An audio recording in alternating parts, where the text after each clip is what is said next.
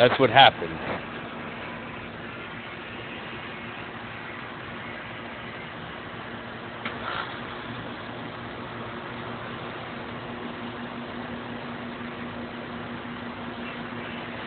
That's the gator shirt that was left in this house.